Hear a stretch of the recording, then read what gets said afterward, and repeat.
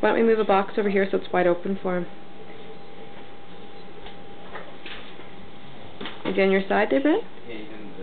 Oh, he's in the water dish. Jesus, he's fast.